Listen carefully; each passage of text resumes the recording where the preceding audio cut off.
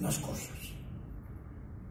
La Navidad es mágica, mis queridos amigos, porque es territorio de nuestra mente, de nuestras ganas de vivirla. Es mágica porque nos convierten en magos y nos da el poder de transformarla a pesar del exterior. La Navidad es la memoria de todos, nuestra memoria. Los libros que leemos durante estos días, las personas a las que nos gusta ver, la familia. Yo recuerdo ahora la Navidad de mi padre y mi madre. Éramos cuatro hermanos y a mi padre subido en una escalera colocando su árbol de Navidad.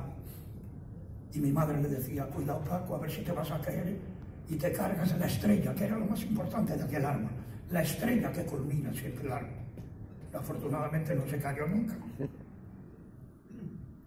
La Navidad es risa, es amor, es bienestar, es cariño, es solidaridad. Por lo menos es la mía. Espero que la suya sea también igual.